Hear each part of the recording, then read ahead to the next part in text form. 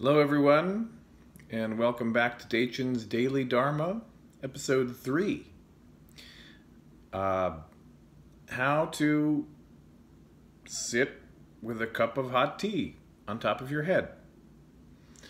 Uh, people always ask yoga teachers all the time, Yoga teacher, how do you keep that cup of boiling hot tea on top of your head?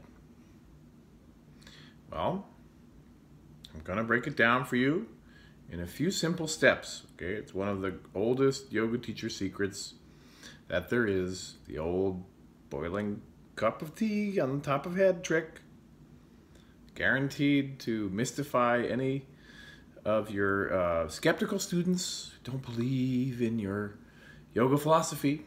Just put that cup on your head and keep talking, and people will, will listen. Um, can be used also, can use a large candle, right? One of those big fat candles you could also set there. Um, really, the key is just to be at peace with um, one's alignment, right? One's posture, seated posture. And, you know, the, the nice full water, nice and hot tea. Let me see. Should be good and tasty tea that you want to would rather drink than have sitting on your head. Okay, and this will motivate you to not spill the tea so that then the tea will have fully steeped, right? Have used up all the hot temperature of the boiling water and um, you will have absorbed that prana through the crown chakra. You know, and it's, so it's a good alignment. Um, so here we go. Cup of tea. Mm, it's good. Okay top of head. Okay, there's a little spot. Ooh, the fingers. And just close your eyes. And tune into the sound of the planet. Yeah, it's very easy to do, you know. Don't worry about it too much, just let it be there.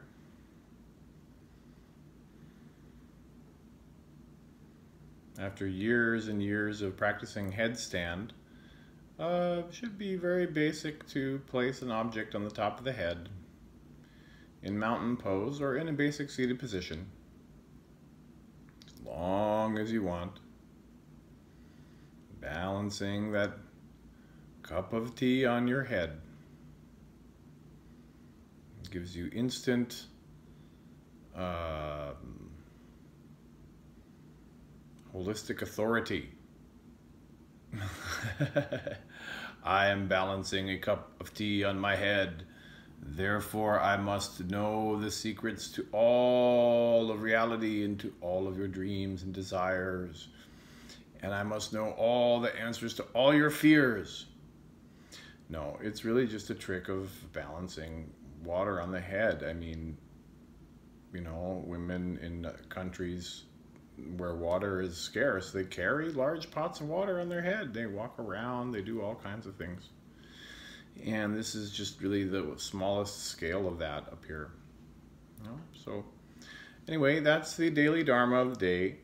Uh, not all the time will we be doing serious topics of yoga, but um, now we get to drink the tea. Mmm, even sweeter for all that concentration it took to hold it up. Don't forget to hit subscribe at the page and please um, share, like these daily dharmas. Send me uh, either private message or post in the comments below. What topics would you like Dechen's Daily Dharma to cover? You know, from yoga classes to meditation to um, massage, body work, you know, Dechen's Daily Dharma has a very broad uh, mission, okay, to bring people together, to spend the time that we have in this life, you know, bringing people together through what we know about each other, about the body, about the mind, about life. And uh, that's Dechen's Daily Dharma. Thank you so much for the tea. And I'll see you tomorrow for Dechen's Daily Dharma, episode 4.